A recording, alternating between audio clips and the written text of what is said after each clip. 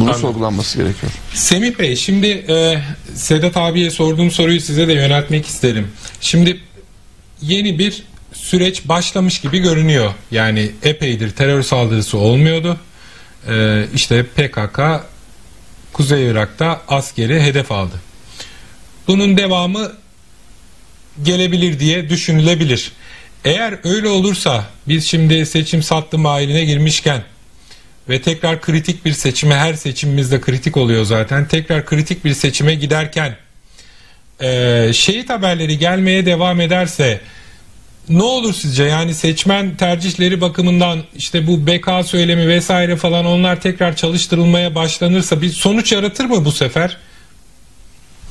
Yani şöyle e, tabii ki her türlü seçim sonucundan çok daha önemli bir askerimizde şehit olması.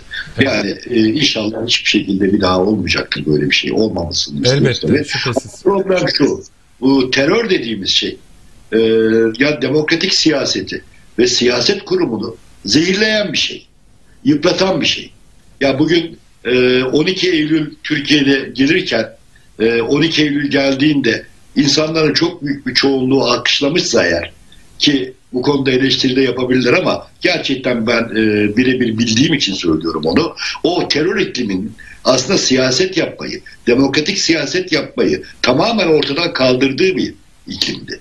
Şimdi bu şekilde her türlü terör eylemi, her türlü terör girişimi, demokratik siyaset yapmayı engelleyen, zora sokan bir şey. Ya bugün bu sadece CHP için geçerli değil. Bugün bu DEM Parti için de geçerli. İşte geçmişte HDP için. Yani hem HDP milletvekilleri hem HDP yöneticileri hem de DEM Parti yöneticileri ya propaganda araçları anlamında hem medya organları anlamında iktidarın çok ağırlıkta olduğu işte bundan ötürü de o propaganda yöntemlerini çok ağırlıklı olarak kullandığı söyleniyor ama e, en iyi propaganda yapma biçimi sahada olmak, sokakta olmak, vatandaşlarla bir arada olmak, işte camide olmak, okulda olmak, fabrikada olmak ve bu sözünü ettiğimiz, yaptığımız siyasetin e, kodlarını vatandaşla birebir paylaşmak. Bundan geçiyor.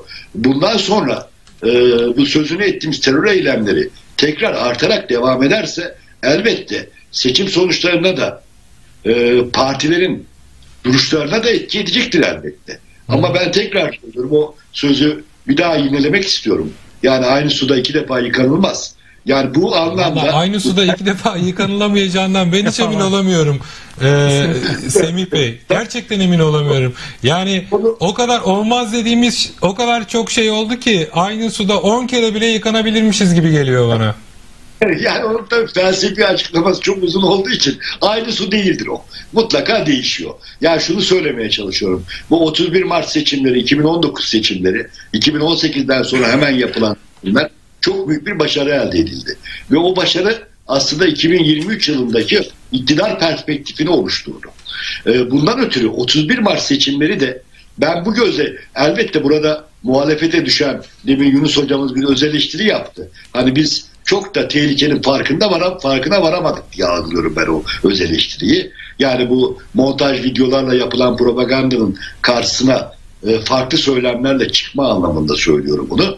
Belki de bu e, o dönem oradan edinilmiş, alınmış bazı derslerle ben bu dönem bu konuda ki bu, bugünkü grup toplantısında bunun bence bir ışığıydı, belirtisiydi. Yani CHP'nin geçmişteki gibi mahcup davranmayacağını, yani e, mış gibi davranmayacağını ve açık iletişimle e, seçmenin önüne çıkacağını, eğer bunu e, televizyonlarda, gazetelerde yeterince yer alamıyorsanız e, ki karşı tarafın propaganda gücü çok daha fazla, bunun alternatifi saha, sokak, seçmen.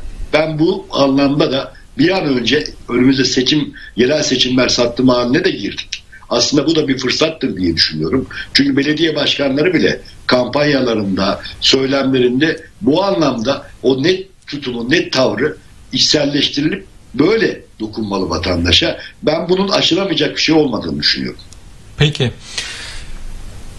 Ee, durum böyle. Bakalım ne olacak? Yani Cumhuriyet Halk Partisi açısından neydi? Ee, hamle. Maliyeti yüksek bir hamle olabilir mi? Olur mu?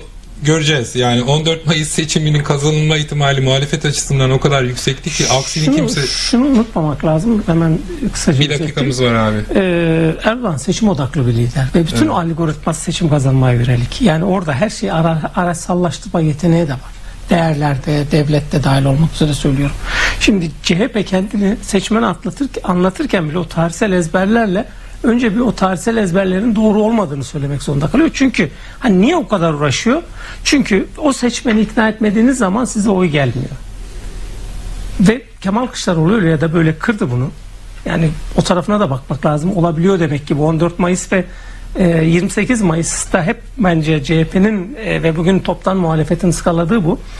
E, Kemal Kılıçdaroğlu CHP'li seçmeni çıkardığınız zaman CHP'li olmayan seçmenin %23'ünden oy almış. Bu çok büyük bir oran. Yani CHP'ye oy vermeyen, oy vermek istemeyen seçmenin %23'ü %23 bir parti iktidara taşıyacak bir orandır. Dan oy almış. Erdoğan AK Parti'ye oy vermeyen seçmenin ancak %16'sının oyunu almış. Yani Kemal Kılıçdaroğlu e, şey Olabiliyor yani. Bu olabiliyor. Öznelerden bağımsız olarak. CHP'nin camileri ahıra çevirmediğini aslında ikna etmiş. Çok önemli bir kesimini ikna etmiş. Ha, Karşı tarafta hala o ezberler geçerli. Siz sahada karşılaşıyorsunuzdur. Ama olabiliyor demek ki. Yani Evet. Semih Bey'e katkı olsun diye söylüyorum. Olabiliyor. Ama bunda e, bir hani Erdoğan'ı e, tanıyıp onunla nasıl mücadele edeceğinizi bilmeniz lazım. E, bunu yapmadığınız zaman işte oyunu kuruyor ve oyunu kurduğu zaman da bakın bugün bile Türkiye'nin asli meseleleri konuşulmuyor. Yani